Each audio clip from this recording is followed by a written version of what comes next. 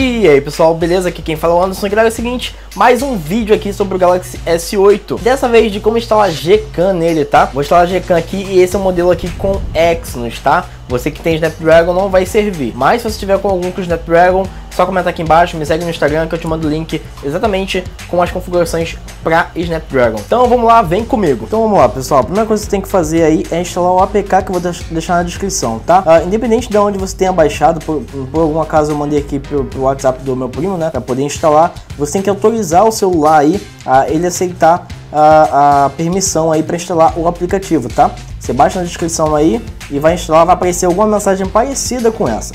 Então vamos aqui em é, configurações e permitir desta fonte. A gente aperta voltar e assim o celular já está permitindo que instale aí a Gcam, tá bom? Então a gente clica aqui em instalar, vai instalar bem rapidão, pronto, instalou. A gente dá um abrir e agora começa a nossa brincadeira. Você vai abrir aqui, já dá um permitir, permitir, permitir e permitir mais uma vez. E aqui mesmo ele vai dar uma reiniciada você vem aqui em configurações e aqui começa a nossa segunda etapa da brincadeira. A gente vai subir um pouquinho, vem até aqui, ó, config camera HDR. Clica aqui e você vai deixar nesse Nexus 6 HDR aqui, tá? É a primeira opção. Aqui, passou daqui, a gente vai descer, tá? E vamos aqui até experimentais, tá bom? Chegando aqui em experimentais, a gente vai fazer o seguinte. Opa, cliquei aqui sem querer. Experimentais. A gente vai descer mais um pouquinho e vamos aqui ó, em opções de desenvolvimento. Chegou aqui em opções de desenvolvimento, a gente vai desmarcar esse Camera Use uh, Photos, ok? Desmarca e volta. Beleza, aqui a gente pode mexer mais um pouquinho, que eu já vi que essa configuração aqui não está 100%. A gente vem aqui em qualidade final do JPEG HDR, a gente bota em 100%, que vai ficar bem melhor.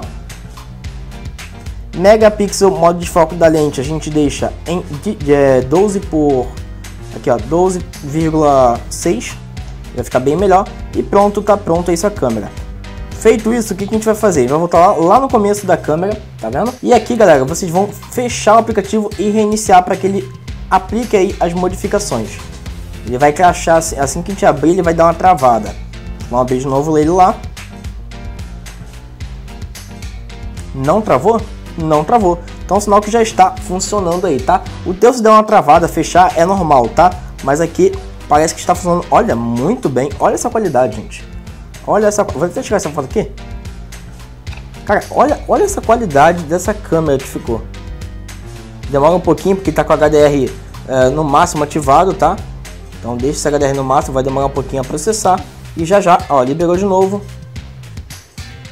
E agora temos uma qualidade muito boa aí da câmera. Ele vai processar aí o HDR. Olha só a qualidade. Vamos aguardar mais um pouquinho. Olhem só a qualidade dessa imagem, cara.